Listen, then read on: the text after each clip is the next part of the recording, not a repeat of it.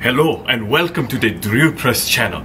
We have a drill press all set up over here and we have a bit of a problem that we need to solve. We have a hard drive here that is dead but contains sensitive information.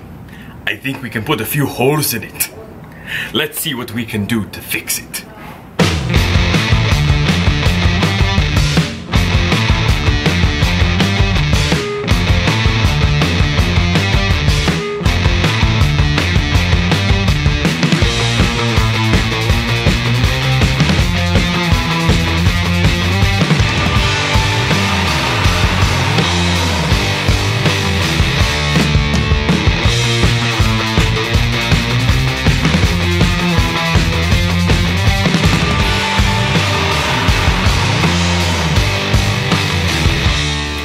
As you can see, there is a hole going straight through it.